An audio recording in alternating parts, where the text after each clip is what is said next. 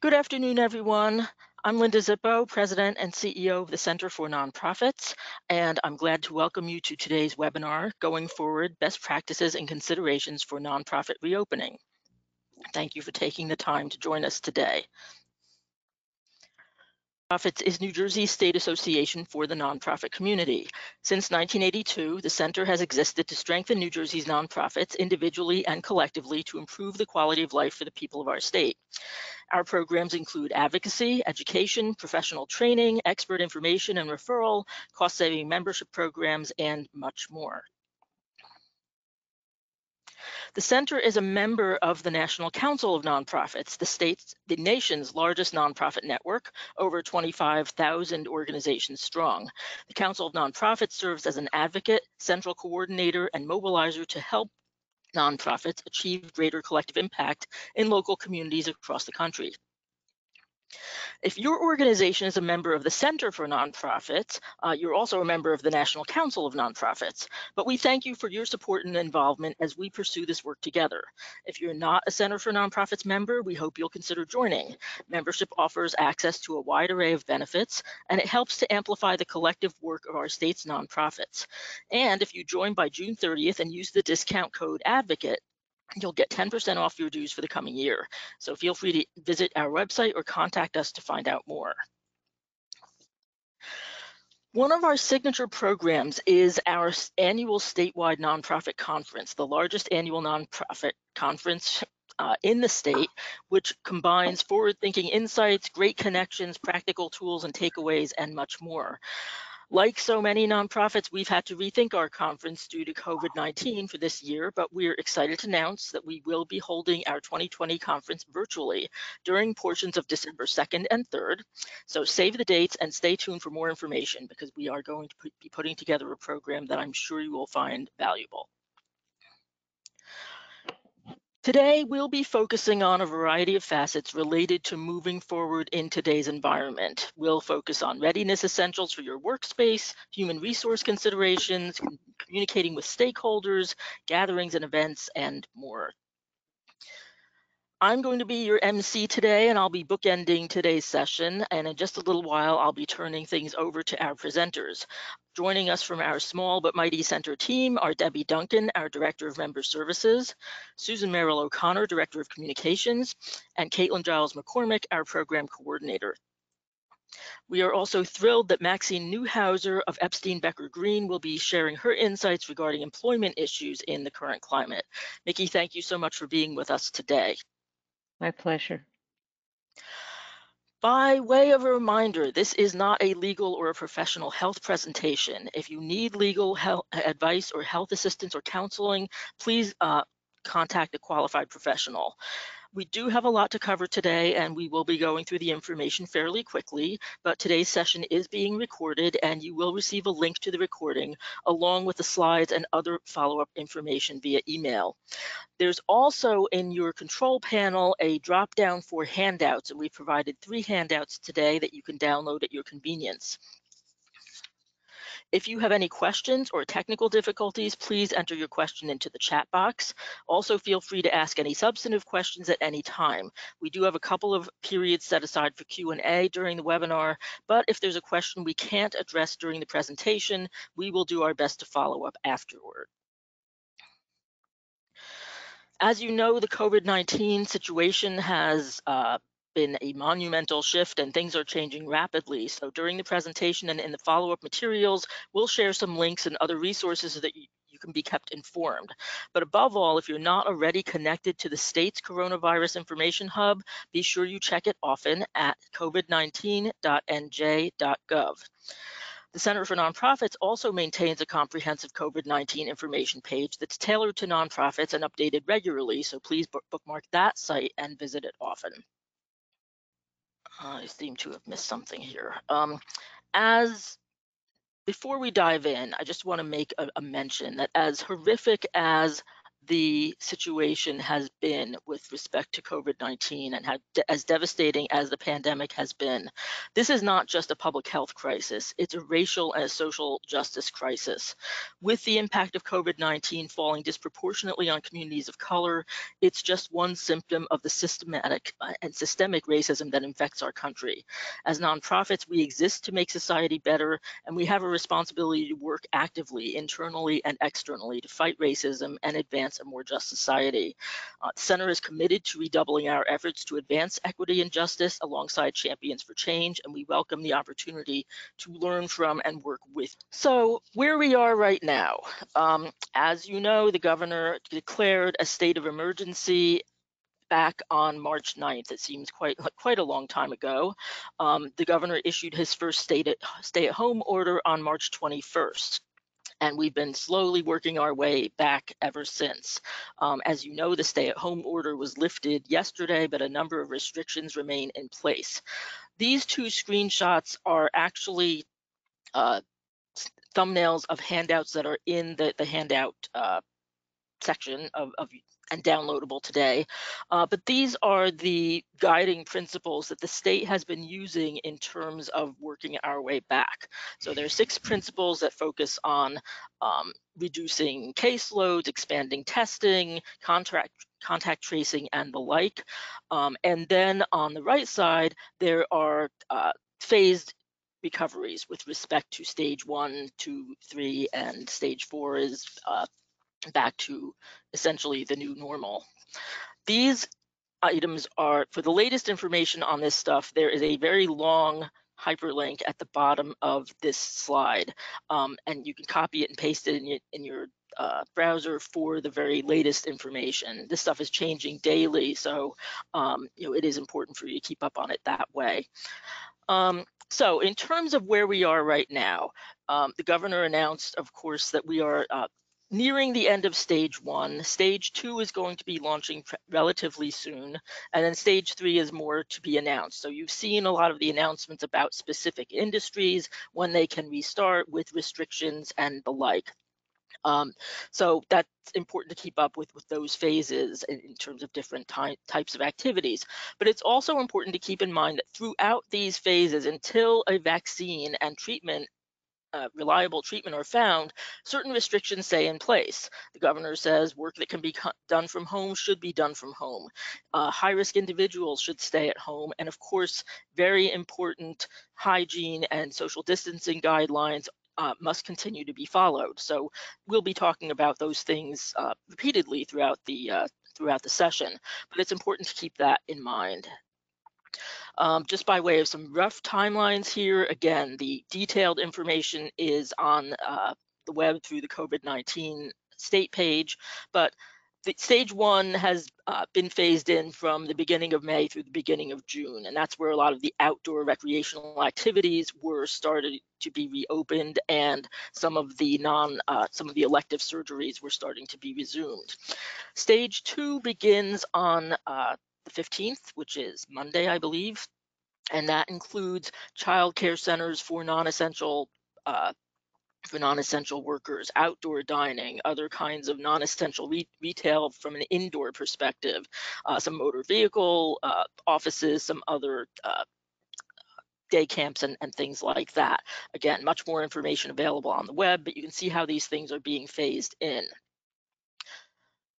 Stage three, which we haven't gotten to yet, will include expanded dining, critical in-office work, some more entertainment, more personal care, and things like that.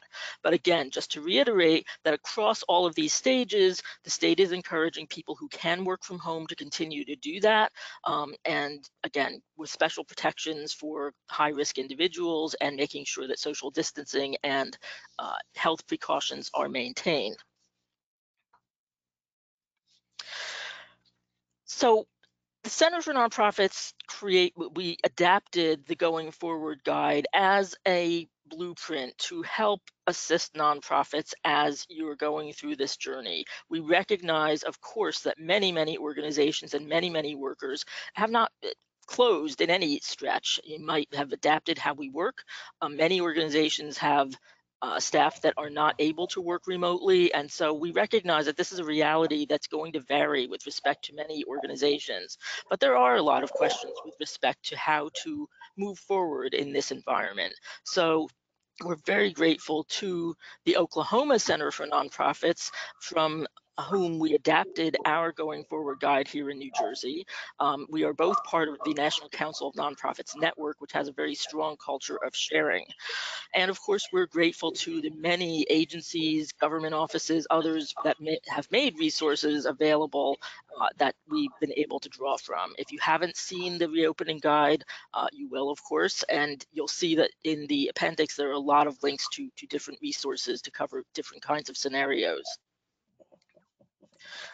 Um, some guiding principles, again, as we work to reopen, um, some leading with your values. Follow the government public health directives, lead with your mission, um, prioritize safety, um, communicate. Transparency is absolutely key, and you'll hear a lot about that. And again, as I mentioned before, um, racial uh, and social justice, equity, cultural competency have to be the word, the watchword. This, this is not a tangential kind of activity. This has to be very deliberate, intentional, and integrated into everything that you do. Now, I am very happy to turn things over to Debbie Duncan, our Director of Member Services, uh, who has been with the Center for 15, more than 15 years. We uh, is a, such an invaluable member of our team. Debbie is going to walk us through the issues of workplace readiness from a facilities kind of standpoint. Debbie? Thank you, Linda. Uh, I hope everybody can hear me clearly. Uh, we're going to look at the operations and uh, workplace readiness before returning to the office. We need to, once the decision is made to return to the physical space, you need to get ready. Um, advanced preparation is critical. Start as early as possible, but do invest the time to address the issues and challenges ahead of time to facilitate as smooth a transition as possible. Every workplace will have different needs, resources and priorities. And some organizations, as Linda said, may never have fully closed, closed and are just expanding, but others may be starting up again from scratch. You want to prepare for re-engagement with considering your office, your staff, and your clientele. Work with and inform your board. Uh, keep them apprised. You want to include thorough risk management and scenario planning considerations. You may want to consult some specialists like your attorney or your insurance agent, uh, HR and financial researchers such as the Society for Human Resource Management, uh, the Nonprofit Finance Fund, and others. And again, the center has resources to um, help you uh, find uh, those connections if you need them. Communicate with transparency. Inform your constituents and donors uh, and the public uh, in advance of what your plans are and what your schedule is. For guidance on health and legal requirements, uh, you're going to look at to the World Health Organization, Centers for Disease Control and Prevention, the state of New Jersey, and finally your local county health departments. These are your primary sources for guidance on uh, COVID concerns. There is, uh, in the guidebook that accompanies this uh, webinar, there's a comprehensive document from the CDC, and also check the center's COVID-19 research page, which is constantly being updated. You're going to start off by establishing a task force with a leader to, to establish the reentry process and policies. Uh, this is really important. Policies and procedures, you're going to be looking at both in the workplace and out of office functions. For small nonprofits, this may be the job of an executive director and board committee, uh, a few people. A larger organization may include their human resources manager, finance director, IT technician, and other senior staff members. When you finalize clear and uh, policies and procedures in advance, you're going to communicate them to your staff and volunteers before they return to the office. And then you're going to set up monitoring practices for safety, cleanliness, uh, maintaining distance, etc. So let's talk about preparing the actual workplace, the space itself, uh, for return. You need to assess the space for social distancing. Can you have desks six feet, apart? Are there cubicles, uh, offices? Uh, gathering areas. What are we going to do about waiting rooms and conference rooms? Uh, can you can you work that out to meet your needs? Uh, what about uh, kitchen areas uh, and eating areas and bathrooms? How do people come in and out of those, and how many people can be handled? Finally, think about how many employees are going to be returning when you're doing this, and then estimate how many visitors or clients will be coming in and at what rate and check your state and uh, federal directives to make sure you're in compliance. Before people return, you're going to want to thoroughly clean and sanitize the workplace and common areas. You're going to make sure that there are cleaning and sanitizing supplies in public locations uh, in the in the in your site. You want to stock up some face masks for people who don't have them and have all the sanitizing products and cleaning supplies, uh, PPE that you, you're going to need, uh, extras. And of course, follow guidelines for sanitation and social distance that your local health department and others provide. Non-surgical masks or cloth coverings should be sufficient for most people, uh, but it depends on your situation. One thing people don't think about too much is the air handling or HVAC system. Is it in compliance with standards under these circumstances? Check with your landlord or facilities person, and if they are not sure, you can direct them to the American Society of Heating, Refrigerating, and Air Conditioning Engineers. I can't believe I said that. okay. Um, they, here are some things you need to consider uh, as you, you know, go through this process. Uh, organizational and individual needs and capacities should be considered. Uh, do, do volunteers and staff have technology for communications? Uh, you may want to have flexible work sites, some teleworking. Uh, you may want to adapt meeting rooms for workspaces. You may want to consider flexible work hours, staggering shifts. Uh, is there plant transportation available for uh, some of your employees who might want or need to come in? You want to increase the physical space between employees and you want to increase the physical space between employees and the clients. Postpone non-essential meetings and events and make them virtual. Uh, you may want to have plastic shields at the reception desk, etc. What protection will be needed for the type of interactions that your organization does uh, engage in? Some other things are you need to downsize operations? You need to kind of take a step back and say, you know what, we can't come back fully. Uh, we're going to have to still, we're going to have to limit this, you know, these functions. Can you deliver services remotely? Can you deliver programs through virtual and or digital platforms? Can supplies be shipped someplace uh, that they, where they need to be?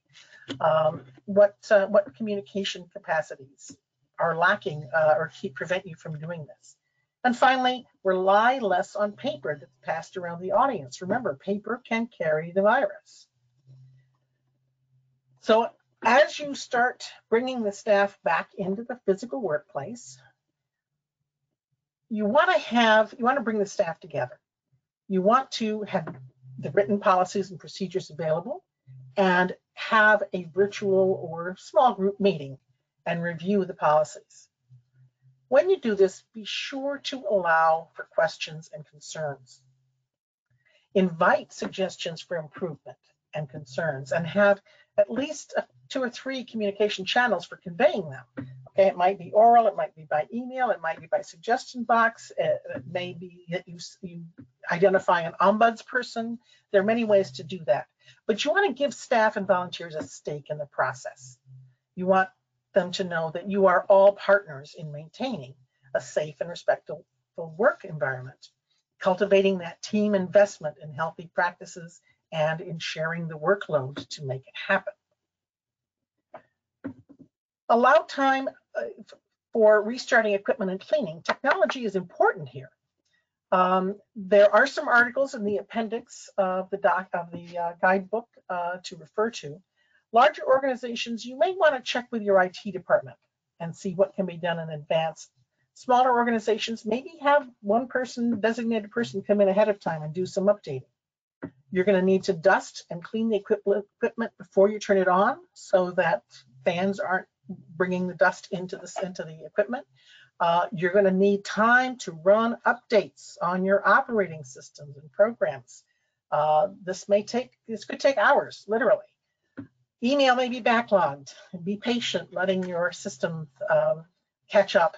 And be prepared to have batteries on hand because you never know what's been sitting for three months and no longer works. Finally, instruct the staff on transferring digital data safely. Okay, don't just email your files. Okay, virus check something at home, put it on a USB key, bring it into work, and virus check it before it goes on the computer. Uh, these things are very, very important and will save you headaches and uh, a lot of problems. We're talking about a, a commitment from the staff to stick to these guidelines. So all staff, board members, and frequent visitors in clientele, we recommend sign a statement of commitment. We call it an oath of personal responsibility. While it's not legally binding, it affirms our responsibilities inside and outside of the office to maintain social distancing, good hygiene, disease detection, and management. In the guidebook, there is a sample oath of responsibility, uh, which I have listed here, but you can read it in the guidebook and obviously adapt that to meet the needs of your organization. You are going to want to implement a clean desk policy with the staff responsible for their own workspaces. That's going to include daily cleaning of high touch areas, keyboards, mouse, handles, phone, clean up after eating, empty the trash every and, and recycling every day. And again, minimize uh, paper usage. We also, of course, what's on the top of the list? We also have to wash our hands, okay? Sing that alphabet song. Um, hand sanitizer and disinfecting wipes available uh, in common areas. Do not resist the temptation to use your coworkers, desk and equipment. I'm just going to borrow this, you know. Um, and finally, use EPA registered household disinfectants and follow the directions. If it says five minutes it takes to disinfect, leave it on for five minutes before wiping it off. That's really, really important. We need to routinely clean and disinfect all frequently touched areas, but especially think about the common use and gathering areas. Any shared workstations you have, common use equipment, copiers, projectors, remote controls, handrails, doorknobs, don't forget light switches. The coffee pot handle, the refrigerator handle, all of these things are, are common usage and uh, when 50 hands have touched them during the day, you know that there's a good chance of contamination. You also want to, you do not want to become complacent. Okay, you want to make sure that you are continue to monitor this. And one thing you can do is empower your staff to take responsibility. Rotate monitoring, determine who has the most interest or the right skills to handle each responsibility, and get feedback from your staff regularly, maybe once a week. What's working? What isn't? What can we change to make this more effective and less uh, onerous? So now you're going to instruct your staff on the procedures and the supplies. Okay, where where are where supplies are located. Okay, same old thing. Don't shake hands. Don't hug. We're all used to that.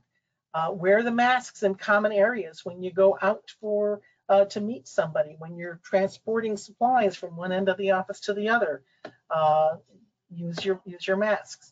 Again, hand washing and physical distancing uh, may require signs and markings to help people get make a get a sense. These are old habits that we, we have these old habits that need to be adjusted and it takes time and it takes a perseverance. I'm gonna say a few things about food handling. You have the internal food handling. Um, you want to may want to limit, uh, and these are all options for you to consider, or have no communal food such as shared food or buffets, even coffee. Think about it. Have employees eat alone, perhaps, to preserve social distancing, depending on the space that you have available. Restrict communal food uh, in refrigerators and cupboards. Should people empty it every every day, or certainly uh, not have it in for very long? And do we want to have things that people are are sharing? We also want to think about any kind of food service. If you prepare food, and especially and, and serve clientele, it is cannot be self-serve. It must be served by staff with appropriate personal protective equipment.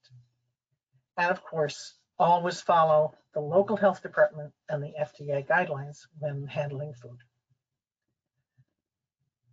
Protocols for public opening and closure. I want to thank our neighbors, the Progressive Center for Independent Living. Uh, they're getting their office set up to, to open fully. And they have, uh, as you can see on the left, they have a sign on their door as you come in saying, please wear your face mask. They're installing uh, plexiglass uh, barriers at the reception desk to protect both the receptionist and uh, their, the people coming in. You're going to need to have clear communication to staff and the public. It's absolutely essential. Uh, employees returning to the job does not necessarily mean they're open to the public. Make sure you communicate that in advance. Employees will need specific guidelines. Who is allowed to enter the office and when? If you open for visitors, post signage about safe practices expected and have them in the appropriate languages. Do not assume that everyone knows what to do. Very important. You may want to consider having outdoor or curbside transactions as appropriate. Um, you may have quick drop-offs or quick consultations. All visitors should sign in. This is critical because then it allows for contact tracing should. Remember that regular visitors read and sign that oath of personal responsibility. And do not make exceptions, okay? If a board member comes in, well, I'm just gonna run in and do this, or I'm just dropping something off, whatever, you need to be very clear about that. It's not just this one person, it's everybody that they come in contact with. And finally, make sure you've notified your mail and delivery services the office is open. uh, don't, don't forget to do that. I want to, again, share some photos from the Progressive Center for Independent Living with you. Um, in the center, you can see their welcome visitor sign, which basically says, if you're sick, don't come in. Um, we have, they have a um, uh, instructions on, um, you know, uh, you know, if you feel sick, you know, what are the policies you need to, you need to, to uh, follow in their office space. And then they also have signage. Uh, on the left is a uh, sign, the uh, one-way sign on the hallway. The next next slide, Linda. Uh, on the left is the sign, one-way sign for the hallway. They actually installed a touchless faucet so that people don't have to be touching the handles to use to wash their hands. And again, you can see um, approaching the reception desk, there are uh, markings for the six foot distance. So this, these are some of the things that uh, you might, you can consider. Uh, they're offered as guidelines. As I said, each work environment needs to tailor to their own requirements and have processes that meet their unique needs and those of their constituents. So I hope this is helpful. And again, in the guidebook, there's a lot more detailed information, so refer to that. And I'll ask Linda now to introduce our next speaker. Thank you so much, Debbie. Um, and uh, again, a lot of information to cover, hopefully a lot of good ideas to, uh, some food for thought, some, some things to pull from. And again, our thanks to our neighbors at the Progressive Center for Independent Living for graciously sharing their uh, ideas and workspace with us. I am now thrilled to introduce uh, Maxine Neuhauser, who is a member of the firm in the employment, labor, and workforce management and healthcare and life sciences practices of Epstein Becker Green. Um, she is uh, a phenomenal employment lawyer. She, you heard her speak at our conference, at our webinars. Um, if you're in Union County, she is a pillar up there on many nonprofit boards there and whatnot. Um, so we uh, work, the workplace issues and the employment law issues are an absolute minefield and so many questions. So we are beyond thrilled to uh, have Mickey come to speak with us today about some of those considerations. So Mickey, thank you. Let me just transfer control to you and we will be good to go. Okay, hello everybody.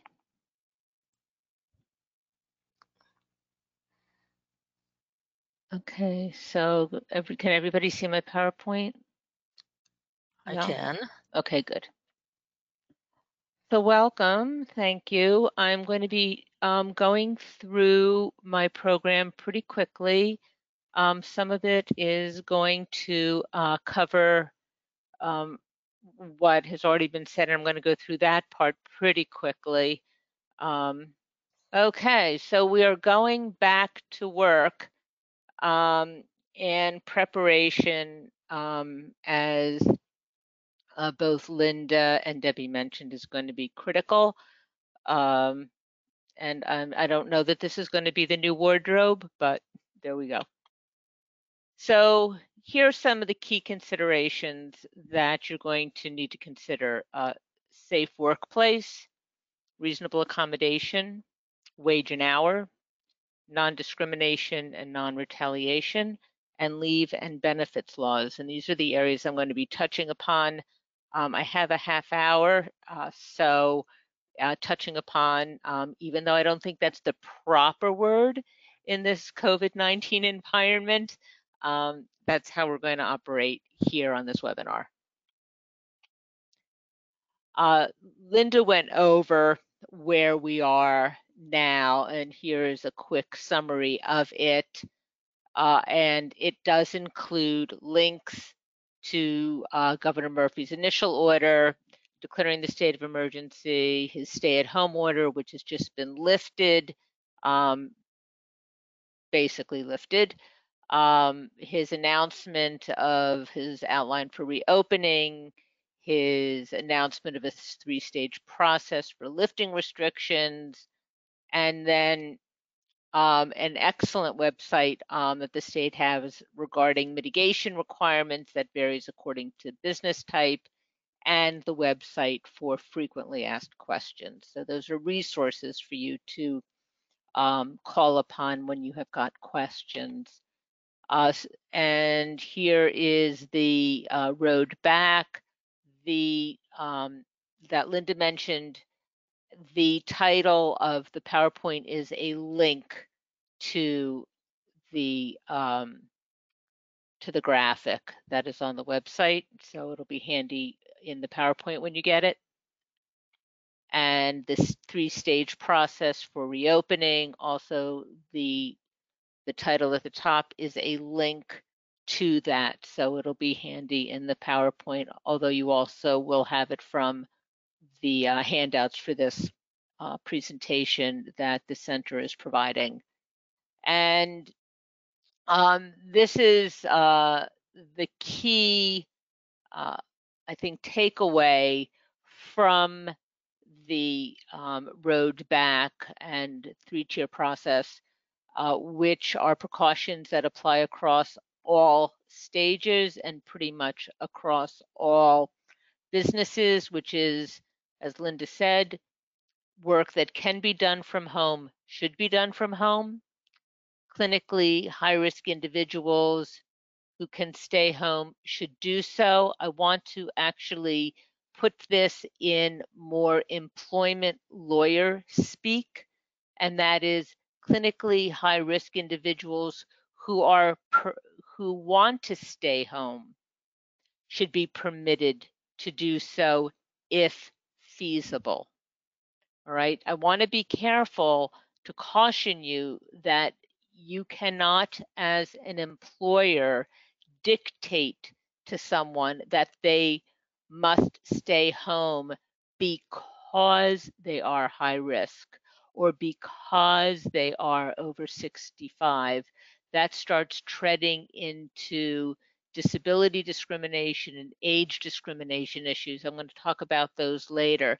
So when you see these guidelines, keep in mind that they are guidelines and they have to be, um, excuse me, they're often shorthand and need to be um, applied with due consideration and here, of course, are the overarching uh, requirements uh, that business should follow with respect to their employees and clients and customers with whom they interact. The CDC has um, COVID reopening and opening guidance. Excuse me. And this is important because of the overarching requirement that you have under the law as employers, which is the duty of maintaining a safe workspace. So these guidelines pertaining to hygiene practices, hand washing, and employees wearing face cloth coverings, while not part of any law or part of any regulation at the moment, if you don't do it, the question um, may be, have you protected your employees sufficiently such that you can say you have met your duty to provide a safe workplace? That's, you know, and that is from an employment law perspective, not just a public health perspective, why it's going to be important for you to follow these guidelines.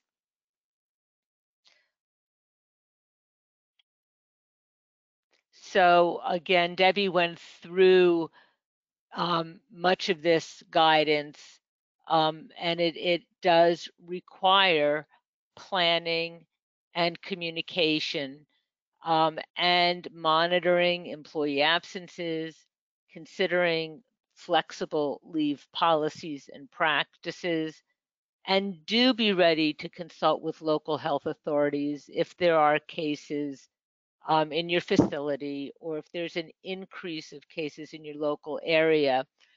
There have been some instances that um, I have been counseled on where workplaces became hotspots and they had to close down for a period of time. And the local health authorities were very helpful in helping to manage that process. So here is the general duties clause.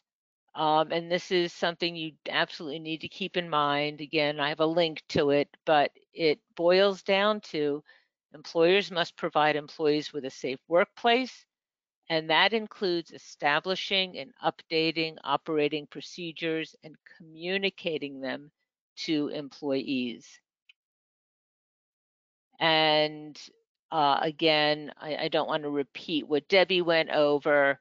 Um, I will point out that the guidance on preparing workplaces for COVID-19 um, that OSHA has developed, um, I have a link to it, and it again is very much um, keyed to uh, preparing and planning and then implementing the controls in accordance with your plan. And we've got the office opening recommendations um, that again, Debbie went through. I want to point out at the bottom of this slide that New York State has developed a template for um, a developing a reopening safety plan that in fact New York employers are required to complete. And for um, those of you who, um, in listening to these presentations, feel like your head is going to spin off your shoulders and you don't know where to start, I suggest looking at this New York State uh, template because it is a step by step fill in the blanks process that you can follow. It's about four pages long. In considering who should return to the workplace and who should stay home, uh, again, this was a little touched on um, by prior um, speakers, but start thinking about what job functions must be performed at the workplace in doing that, look at what has um, been happening at your agency for the past two or three months. Which job functions have not been successfully performed during work from home? What job functions have been successfully accomplished via telework? Is partial work from home viable? Are there jobs that can or should be reconfigured. Take into consideration commuting concerns. How are people going to get to work? Will they be able to get to work safely? And I do think you can take employee preference into consideration. Are there employees who would prefer to come to the office? Um, you know, I know that with many New York employers, they have employees who find it very difficult to work um, out of those tiny shared apartments, and people want to come back to the office. Whereas there are other employees who um, need public transportation, and if they can work from home, they want to. So take that into consideration as you are thinking about the future.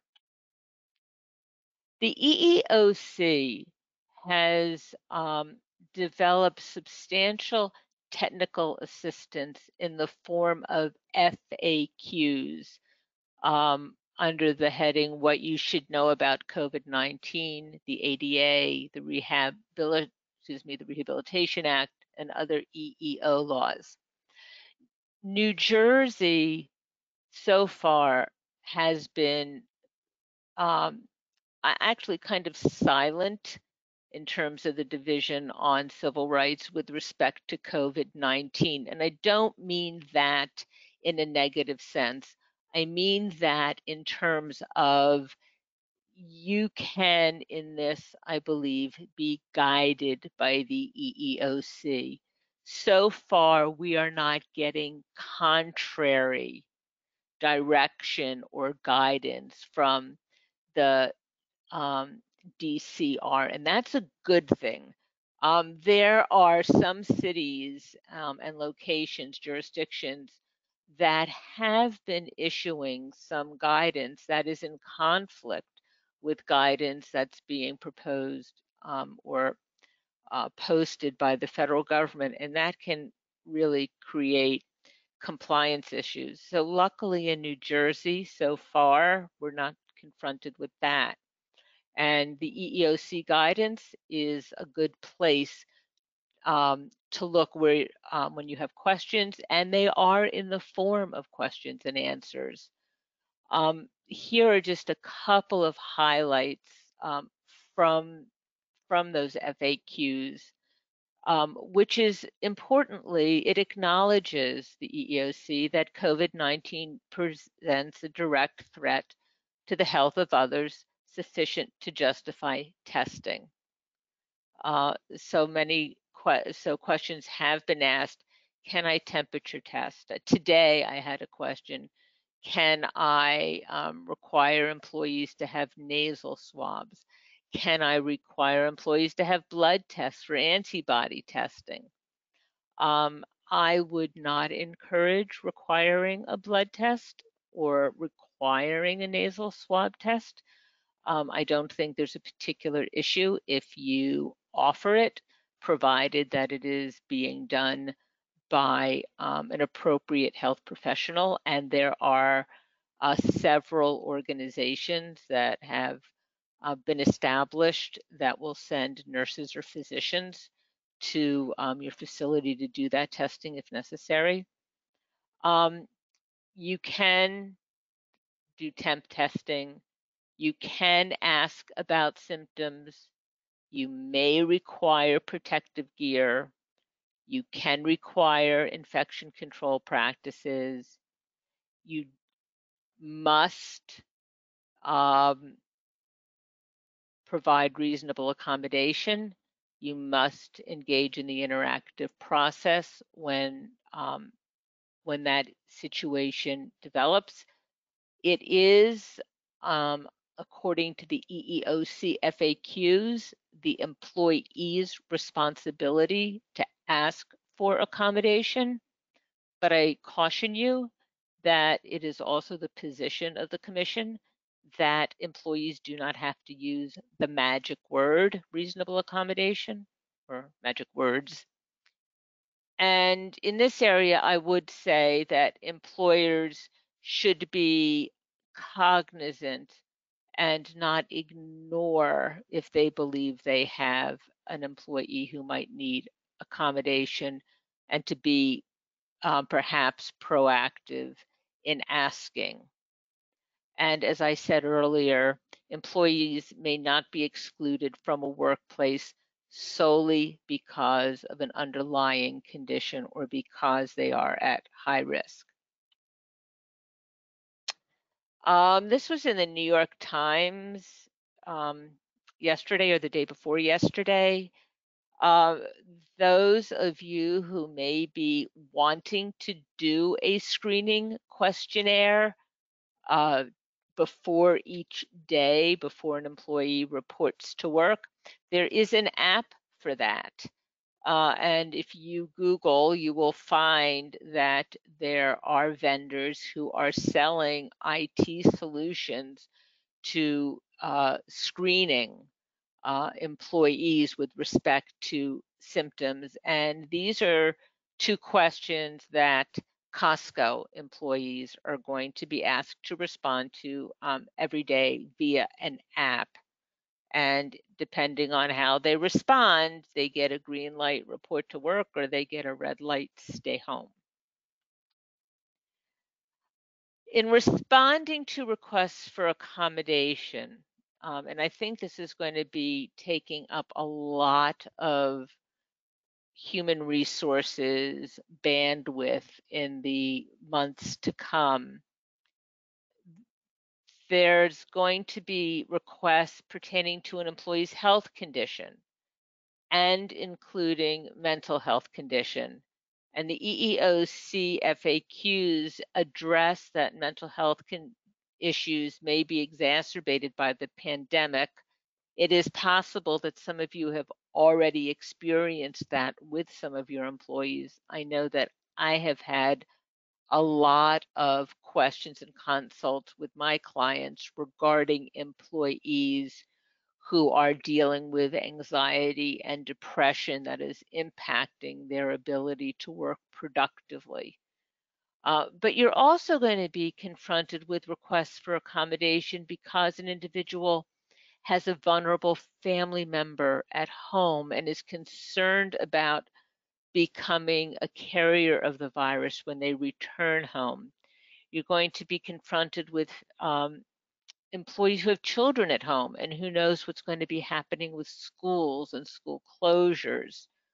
Um, as I mentioned, there are transportation concerns, and many employers are already dealing with issues of employees who are simply fearful of returning to work because of a fear that they will contract the virus. And so far, the mere fear of contracting the virus is not um, sufficient to justify an employee's absence from work. But um, if an employee has a reasonable belief um, that they are at heightened risk, then that employee may um, potentially reasonably refuse to work. That then leads you to the accommodation question, which is can this employee's work be done um, via telecommuting or virtually, or are there things that the employee can do, even if that was not their job before, that you can discuss? In all of this, communication is going to be key. Um, with respect to the interactive process and when it is the employee's own disability that is generating the request for accommodation. The EEOC provides examples of questions that um, an employer may ask, and I have them here um, just to give you uh, an idea of things that you may be able to ask and give, and you may have other that may lead to other questions that you have, and may also be applicable to other situations. I want to point out that an accommodation, that a, a reasonable accommodation uh, is not necessarily the employee's preferred accommodation. So, for example, an employee who is seated, seated in an open area might object to returning to work because of the open area. But if the accommodation is that um, the employer is installing plexiglass dividers between each of the desks um, or is staggering work times um, or is um, having alternate work days. Some people work Monday, Wednesday, Friday. Some people work Tuesday, Thursday. Those are accommodations that uh, you might want to offer if you think somebody needs to be at work and cannot do their job from home. another interesting thing is that accommodations can be temporary. So you might have someone who needs to be home for a while or needs to work um, a certain shift for a while.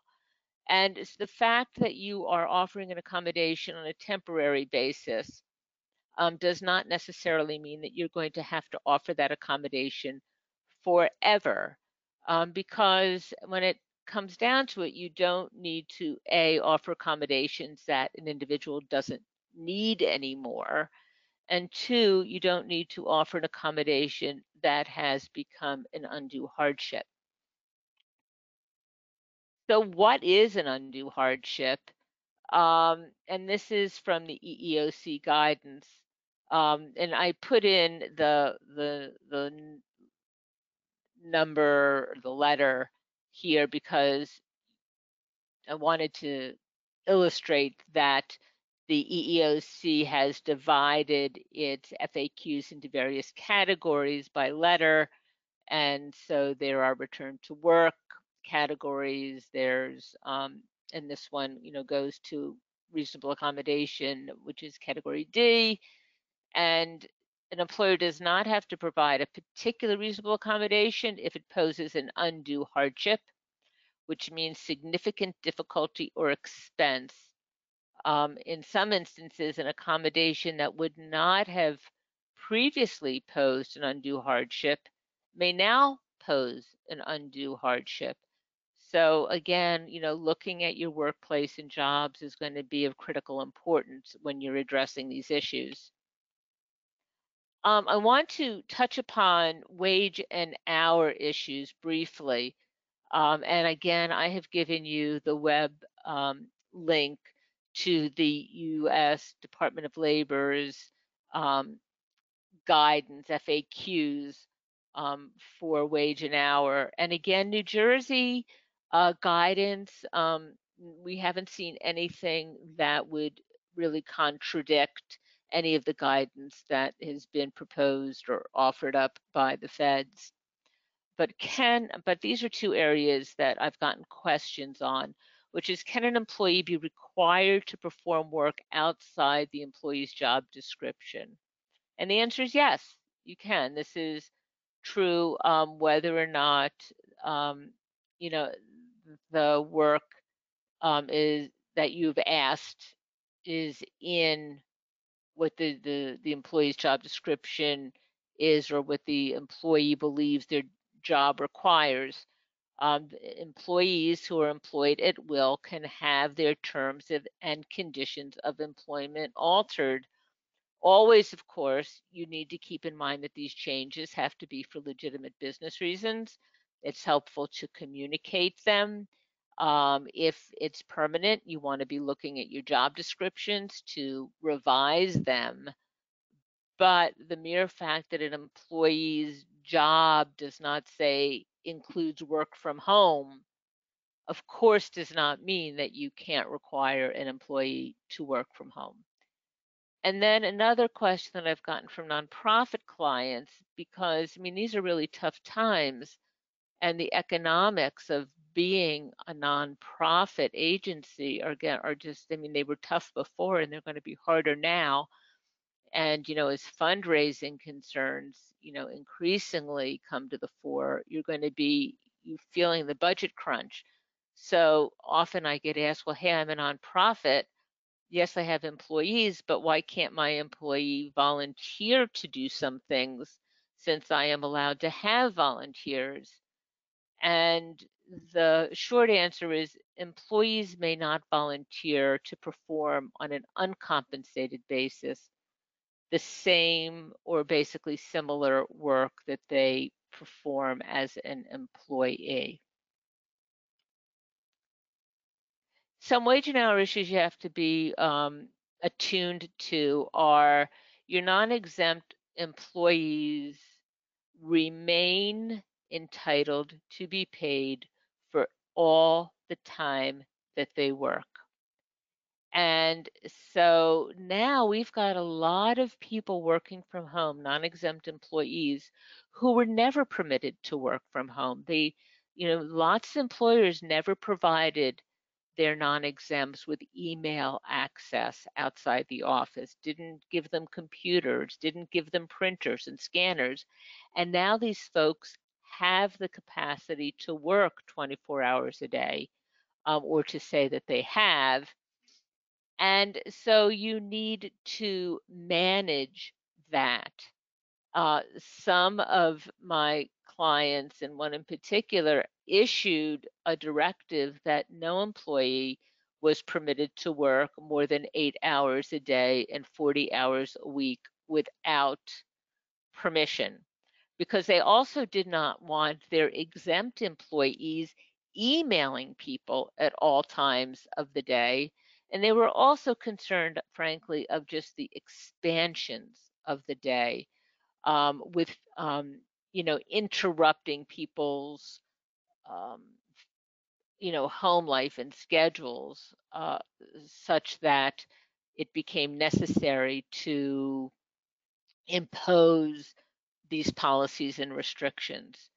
You need to make sure your time, your employees' time is being recorded accurately. And um, if you are changing job responsibilities for individuals, you need to consider whether those folks are still, who were exempt, are still exempt. So for example, if you have an individual who, when, eh, when your employees were at the work site, supervised um, two through four employees and therefore was an exempt supervisor, but now working from home does no longer has those supervisory responsibilities, then you have to consider whether that person is still properly um, classified as an exempt employee. Similarly, if you have an employee whose job duties have been reduced to part-time, or in the coming months, you're going to be converting full-time employees to part-time employees, you have to keep in mind that an, an employee doing exempt work, work that would otherwise qualify them to be exempt, uh, may not be exempt if their annual pay goes below the salary threshold, which is about $35,000 a year. And then another question that's been asked of is when you start doing these temperature checks and self-assessment um, pre-screenings, is that time compensable? And the firm answer here is maybe. Um, in some states, definitely. Um, it is, California in particular, um, pretty definitely, I should say. Um, it is something that is getting a lot of attention, and there just has not been definitive guidance on it. Uh, New Jersey leave and benefits law. I don't have the time to go through all of these. I'm going to touch upon each of them. Um, New Jersey has a panoply of job protected leave and benefits laws. It's earned sick leave, family leave, temporary disability leave family leave insurance. We now have a COVID-19 anti-retaliation law. And keep in mind, we have always had the NJLAD, which considers leave as a potential reasonable accommodation.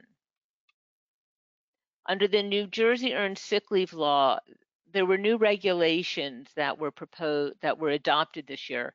And I want to point out key takeaways from those regs, which is that if you have an umbrella PTO policy that covers your um, earned sick leave law um, obligations, all PTO must meet the earned sick leave laws or be uh, consistent and comply with the earned sick leave law requirements with respect to documentation, permitted use, deadlines for calling out, um, scheduling, payout carryover, and the like. So not just the 40 hours earned sick leave, but all PTO if you have a single umbrella policy. So what the regulations and the law say is that all requests by employees to use earned sick leave are considered presumptively valid. And you may not require a note for an absence of under three days. Um, you can require return to work notes. And um, importantly, you cannot require employees to use their accrued earned sick leave if they're out, even for an earned sick leave purpose. The earned sick leave law was expanded to permit employees to use their 40 hours um, mandated, or again, if you have a PTO policy that's an umbrella, it would apply to that. Um, because the child's school is closed during a declared state of emergency, because an employee's uh, quarantined, or to care for a family member. Um, and although these are COVID related um, amendments, they are permanent amendments and apply to communicable disease epidemics and other public health emergencies that may arise even after the current crisis. Similarly, the New Jersey Family Leave Act was expanded to add reasons for um, health care, excuse me, reasons for taking leave, which is because a child's school or daycare is closed or to care for a family member. Leave can be taken continuously or intermittently at the employee's discretion. And interestingly, the intermittent leave applies even where there's been um, a declared state of emergency. Um, for myself, I find that a little odd that if somebody needs to take time off to care for someone who is quarantined, that the law requires that you permit them in the workplace, but that is what the law says. I suggest that you might want if that if somebody is um, wanting to return to work intermittently that you try and come up with a work from home option because for myself i think that is more consistent with public health um, smart public health.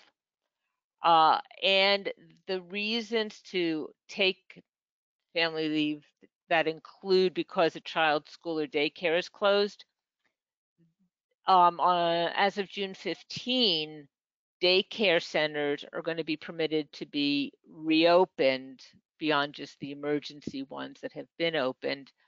Uh, it remains to be seen to what extent that permissive reopening is going to impact um, whether um, an employee can take time off to care for a child due to daycare or um, school closures if the employee had other options for daycare or school.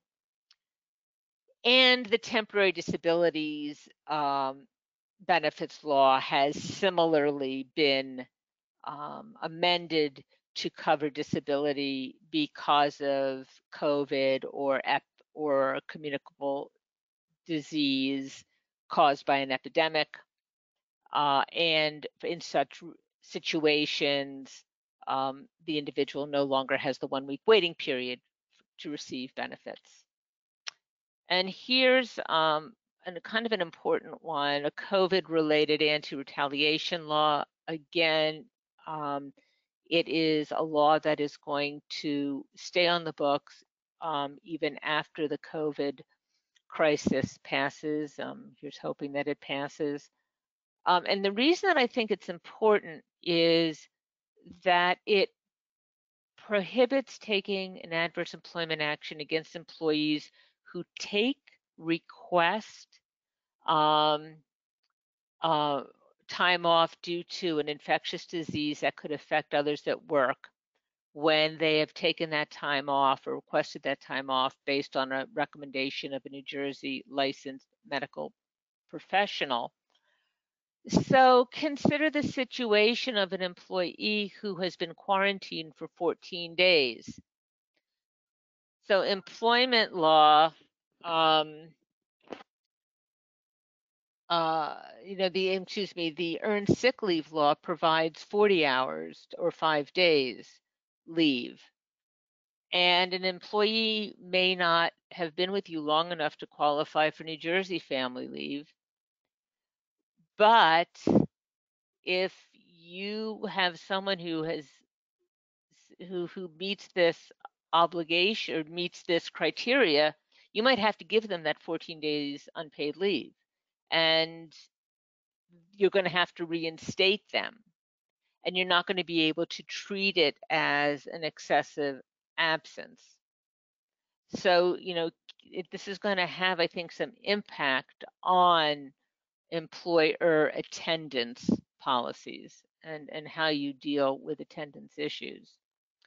And New Jersey has on a web its website, the New Jersey DOL, um, a chart showing various scenarios um, pertaining to um, when an employee is not at work and when benefits may become available. I'm making it bigger here um, it is guidance and it says, you know, if an employer is out for this reason, X, do they get federal um, leave? Do they get federal sick leave? Do they get earned sick leave? Do they qualify for unemployment? It's a guide.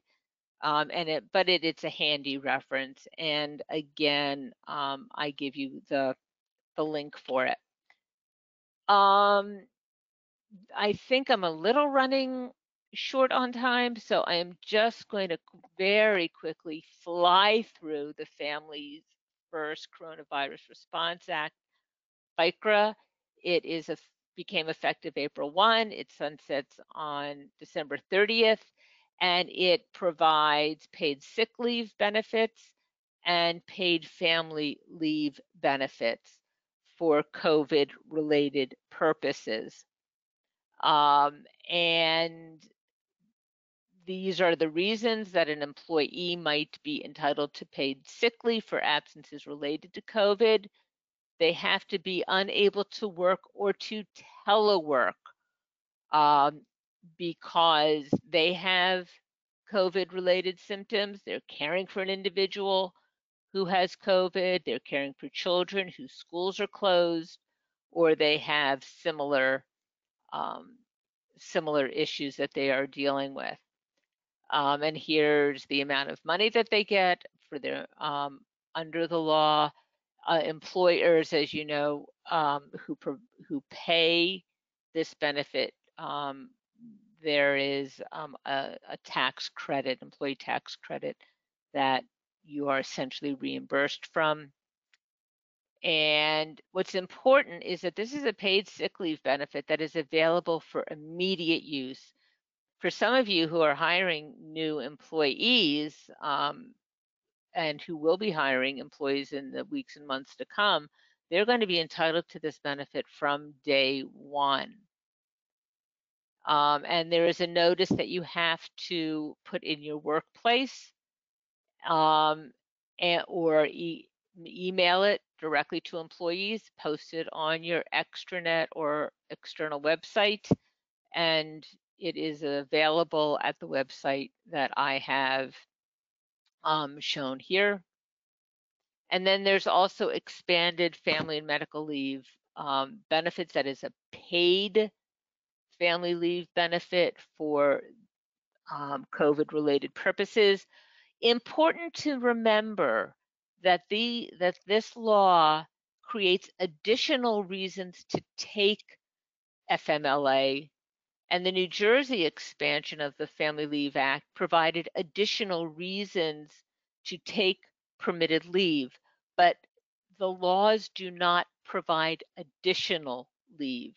So once an employee has used their 12 week leave allotment, they do not get to use another 12 weeks for one of these purposes. And um, under the expanded FMLA, the first 10 days is unpaid, but remember you have the emergency sick leave, which pays for the first 10 days. And then the remaining 10 weeks, there is a benefit of up to $200 a day. And for that benefit, an employee um, needs to have worked for you for 30 days. And here are um, links uh, for you if you have questions, FAQs about FICRA, FAQs about the FICRA notice, and additional um, guidance from the DOL. And there are um, here some bases for liability that you you know need to be concerned about as you are dealing with these employment issues. Um, and I have it here not because I really want your head to spin off your shoulders, but because I want to bring home how important it is to plan and act with consideration to treat cases on a case by case basis or requests on a case by case basis um, and to avoid you know running afoul of one of these laws um, and, and and here's the final word um, that I want to leave with you and those of you who have heard me present before have heard this before but I always think it bears repeating. Um, you know I don't expect that you're going to memorize that list of laws um, and it's impossible to know the ins and outs of each of them um, and their regulations and how they've been interpreted and the like. So what you want to do is you want to, in dealing with your employees, um, remember that you always should have a legitimate business reason for every employment related decision you make. You always want to tell the truth. You want to communicate with your employees. You always want to be truthful with them. Um, you don't have to go on ad nauseum, but you know, classic example, you don't want to say a job has been eliminated if next week you're going to be posting for that position. You want to document, you want to show that, um, you know, you have communicated why you have done what you have done and always treat your employees fairly and when with respect because when problems occur so often it's because an employee is angry because an employee feels they've been dealt with unfairly they haven't been listened to. And to the extent that you as an employer can leave an employee feeling that they have been treated fairly, they have been treated with respect, they have been listened to, um, you're going to be, um, you know, fairly well protected um, against um, a lawsuit, an employee trying to hang a legal reason or violation for a decision or an adverse decision that was made about them. And that's it. Thank you.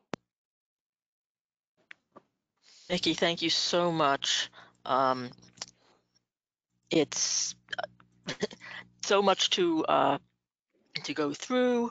Um, there's a reason why employment lawyers are so busy now and a reason why good employment lawyers are so valuable.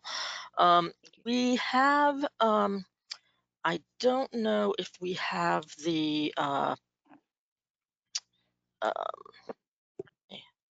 somehow I made my slides live, so bear with me for a moment.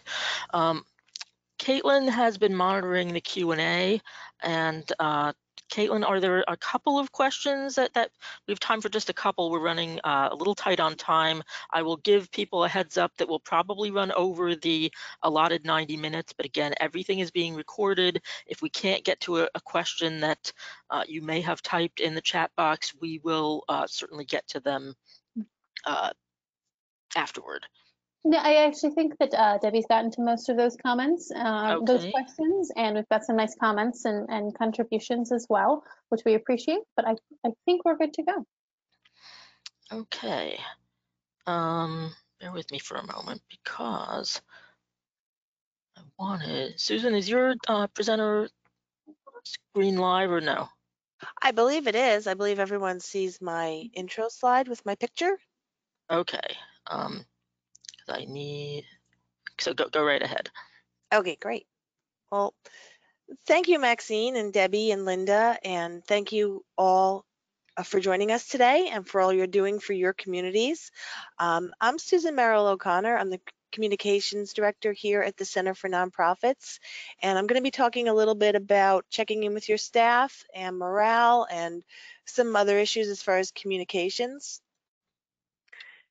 So checking in with your staff and stakeholders, uh, we're pleased to say that, that many of you have already been doing this throughout the, the last few months. And it's also heartwarming that many of you have been checking in on us too, which we really appreciate. And we, we want our members to be communicating with us and, and let us know how you're doing. Um, anxiety, depression, and other mental health issues. As we know, the quarantine experience has been very concerning for many of us.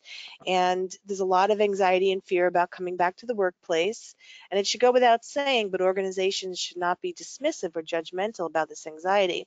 As Maxine had mentioned, we also must realize that in addition to work stress, there's a lot of home stress we're all dealing with and still a lot of uncertainty. So give staff some avenues to express concerns, either with coworkers, leadership, um, and if your employee benefits has an employee assistance program, an EAP, that's another wonderful outlet. Connect employees to resources at work and community resources as needed. And of course, always respecting privacy. You know, some employees will come to you and that they, they'll they'll be upfront that they need help. Um, but of course, you know, it's not something that needs to be shared throughout your organization. Um, everybody's going through this in a different in a different way. Employees may need additional social, behavioral, and other services to cope with their work in the field, and um, especially with the sickness and death of a loved one. You know, the, the coronavirus now in our state, there's over 165,000 cases, and I believe the last estimate was 12,000 deaths in our state alone. So chances are you know somebody if it's not you, um, you know somebody, if maybe it's not somebody on your team, but somebody that you work with that is dealing with coronavirus head on. Um, management coworkers should be ready to work with staff members and volunteers in an empathetic and trauma-informed behavior, and there are some resources on that. Um, and again, remember that it that it affects people in different ways, and we should also be ready to refer employees to professional mental health services should the need arise. And it's more important to really realize that this is not business as usual. I think the last few months have certainly um, we've we've known that and it's taught us a lot of lessons. And we need to be perceptive and attuned to our staff volunteer and clientele. And as nonprofits this is something i believe we do well. So um, you know the compassion has been incredible and and we need to continue doing that. Uh, in April, we had a wonderful webinar, Stress Management and Self-Care for you and your team during COVID-19 crisis. And we had two presenters, Yvette Murray of YRM Consulting and Shauna Moses of Nanjama, New Jersey, um, New Jersey Association of Mental Health and Addiction Agencies. And this is, uh, webinar is free on our website.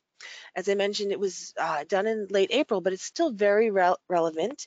So you can go ahead and access that on the center's events page in the record webinars, and we will be sending you a link to this as well as other resources. And on that webinar, Yvette and Shauna shared with us um, some resources and, and you know some some support centers and things like that. So we will definitely get that to you. And as far as morale, it's our hope that your staff is enthusiastic to get back to work. But again, it won't be business as usual, so expect some changes in morale, especially with policy changes and perhaps even staff changes that, that they might not be coming back to the same um, the same office that they left in March. And morale and mission are not mutually exclusive. In fact, in the most successful workplaces and organizations, they often go hand in hand.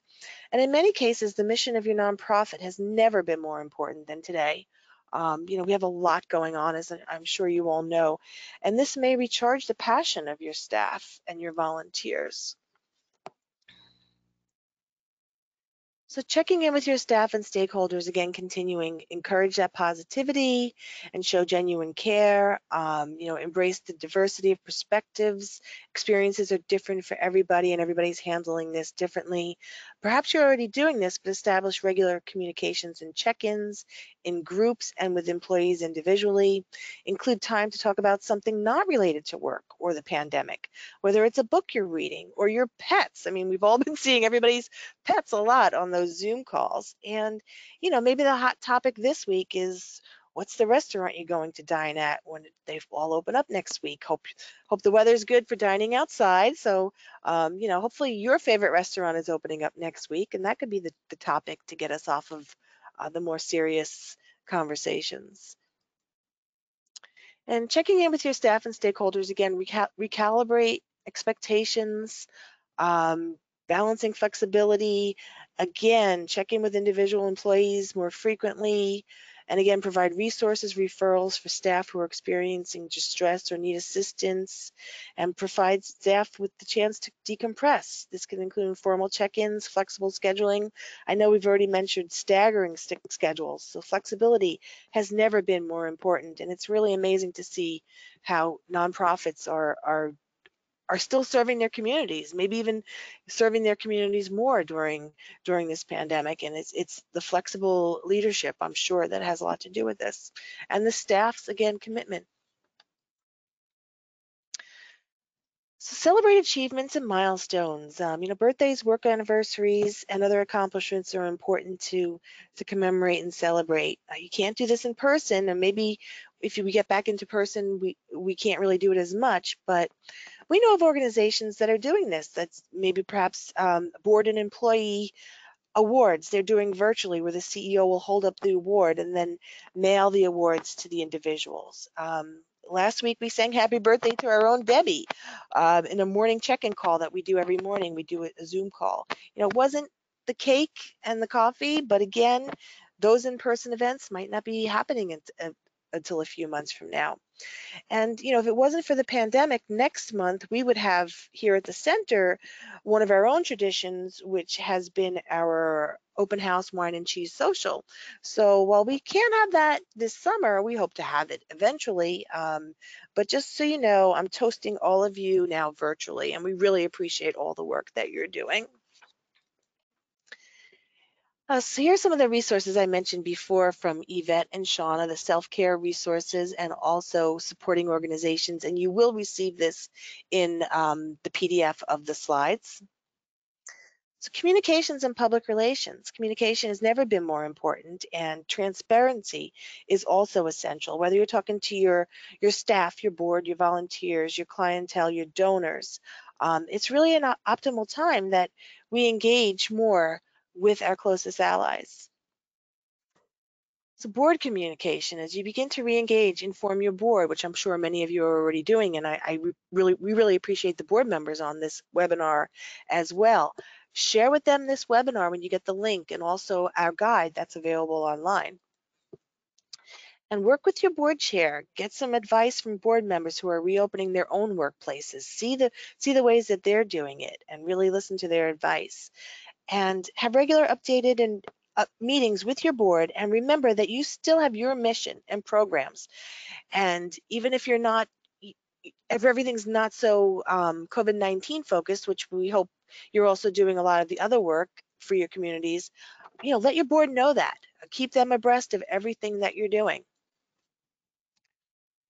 And talking about donor relations, have frank discussions with your donors and funders. Remember, your supporters are already invested in your organization and they want to see you succeed. So be clear on how this crisis is affecting you, your programs, um, you know, be direct on how they can help. If you're having trouble meeting restricted grants or contract obligations, talk to them. Many of them are being very flexible right now, and we certainly appreciate that. Um, as for canceled events, some funders and sponsors are allowing you to keep that sponsorship as a donation, and my colleague Caitlin will be talking a little bit more about events next. But um, you know, it's really being upfront with your funders, and many of them have increased their funding and um, have even started relief funds. So check out our website on our COVID relief um, COVID-19 page. We do have some of those relief funds. Communication, communicating to the public. Um, I'm sure you're getting your message out there now that you that you're reopening or you're you're ramping up um, some of your programs. You know, um, you could do this in a press release, an email, a simple statement on social media, a message on your website. Be transparent and let them know what guided you in this decision making. And here's a sample of something that we've been had, having in our e-blast since March. Just a message to remind you that we are we are operating remotely and we are working harder for you more than ever. Um, here are the ways to get in touch with us. So we've been having this little boilerplate on all of our e-blasts so that people know that we are here for you. And again, if you're a very public facing organization, um, make sure that uh, you have established a single point person. That's always a good idea even if it's not a crisis, to have a single point person to get the message out about what you're doing and how you're keeping the public safe. And communicating to your staff. Well, this probably should be the first group to communicate with. Um, we can't stress enough that communication to staff and board and volunteers and donors should be especially transparent and with great detail as necessary. Being forthcoming with updates will help prevent the spread of inaccurate information or rumors um, you know, let, let your staff know that you, of course, are listening to their concerns as well. And ongoing communications. We know it's going to be months and months that we're going to be working in, in this new normal. So you may want to devise a plan of ongoing communications for the next several months that focus on the internal work and your external work and keeping everybody up to date on your hours of operation. Um, you know, your, your website should be updated often and what your protocols are for visitors. So, um, you know, that is just some of the things that a lot of this is common sense. We know for nonprofits that have already been really communicating with their communities, and we really appreciate the work that you're doing. So now I'm going to turn it over to my colleague, Caitlin Giles McCormick. She is our program coordinator here at the Center for Nonprofits, and Caitlin is going to be talking a little bit about events. So without further ado, Caitlin. Thank you very much, Susan. Um, really appreciate um, everything and, and the information. And we'll talk about um, events real quick. And as the slide says, um, events have changed. Um, and, and, there's that's quite the understatement, honestly. Um, as we've already experienced, everyone's events are changing. Information fairs, network gatherings, trainings, performances, awareness ceremonies, galas, and other fundraising events have all significantly changed already. As excited as we are um, for the state to reopen. Um, and things are changing really fast, and organizations must adapt um, and make a lot of contingencies for their events, even as they start to resume in some capacity. Local and state guidance is consistently changing um, and will likely continue to fluctuate, so um, those contingencies are, are key. the number of people likely to be permitted in a, um, in a space is quickly rising, um, but I, we do not anticipate for that um, you to be able to get to 100% anytime soon. Um, additionally, you may have um, people who usually come to your events who have those first and secondhand experiences with COVID-19, um, and there will be a wide variety of comfort level to a, coming to an in-person event. Um, and so something like that is essential to be thinking about when if you're considering having an in-person um, event at this point in time. Something that is to, to be considered whether you keep events in person or go virtually is donors and sponsors. Um, a lot of times, if you look- look back at your previous donor requests or, or sponsor requests, you may have some really good information to draw on, and less may need to be changed than you anticipate. Um, so that's that's I think an encouraging message. Um, telling the story though about where things have changed and why they've changed and how you're changing your um, approach in addressing the COVID crisis while still continuing to um, serve your population. Those are things that your donors want to know about, and that continued communication, as Susan was referring to, um, is essential and will help with those fundraising and planning of events. Videos and photos are particularly powerful, um, as well as direct mail. People are getting a lot less direct mail, so that is, if you're doing a stay-at-home event, a direct mail appeal can be a really good and effective way to get that message across and have people take time um, and think about your organization, even if it's not that physical event. The other piece that is really important to consider when you're um, supplementing or changing an event is that if you don't ask for money, you you won't receive it. um, we have a lot of dedicated uh, donors and and sponsors that have been with us a lot of times. Um, however, if they don't hear from you, if they don't get the ask, um, they are very, very, very unlikely to um, to give. And so, thinking about if you are having an event, is a 50% income return um, enough?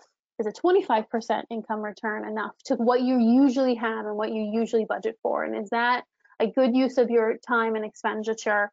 Um, and it can frequently get you closer to your budget goals, um, even with that considerable um, less amount of income that may be received or that you may anticipate.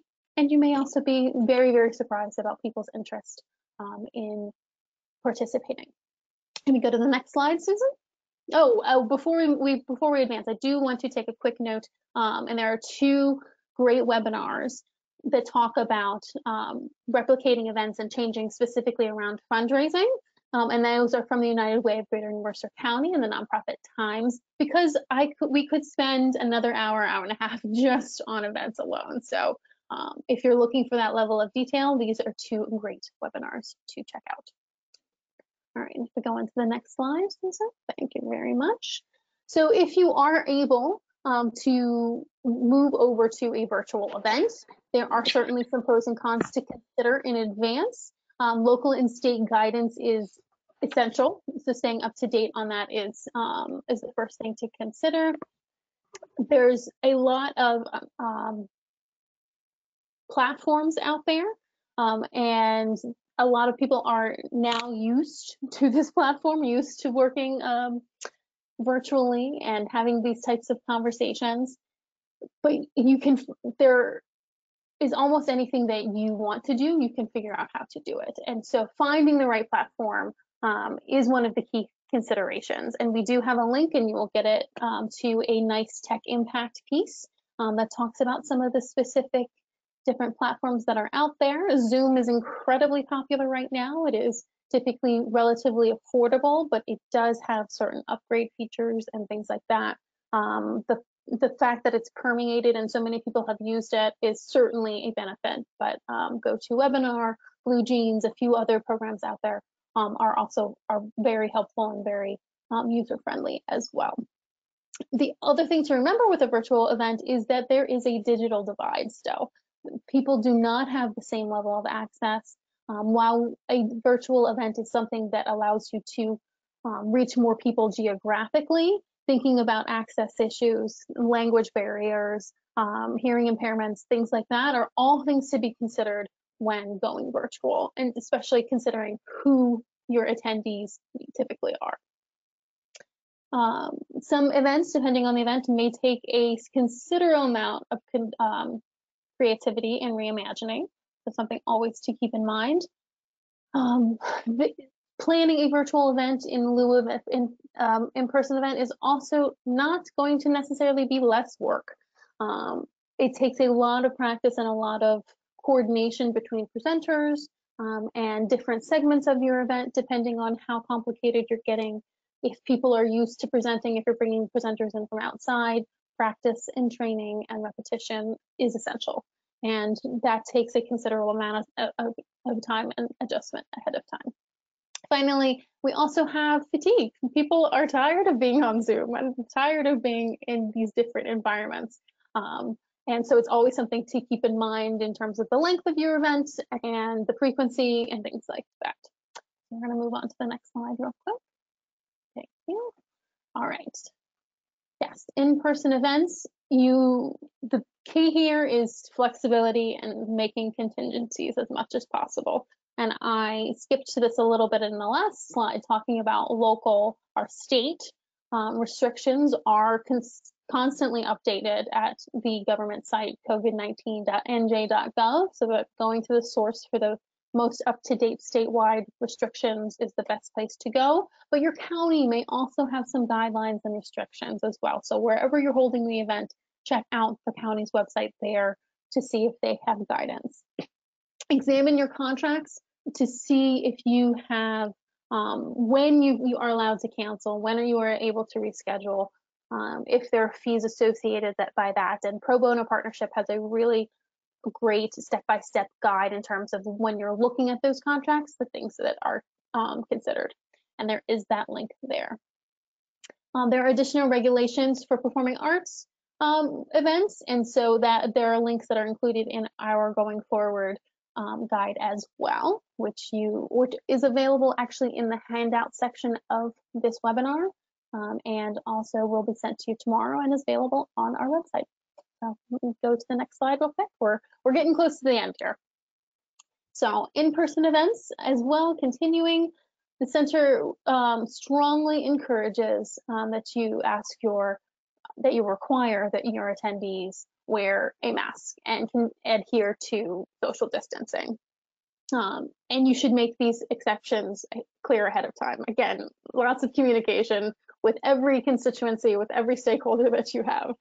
Um, ask your attendees to bring their own personal protection equipment, um, but this, but always have extras on hand as well. Um, wipes, sanitation stations, um, mask as well it can be a branding opportunity depending on your type of event, um, which is an interesting idea. It's my daughter's Taekwondo um, teacher actually sold has sold a bunch, and it's we love it.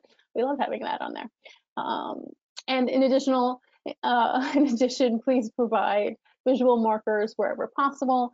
Um, very similar to what Debbie shared in the pictures um, of the office across the hall from us um, as well. So you'll need that at your in-person events.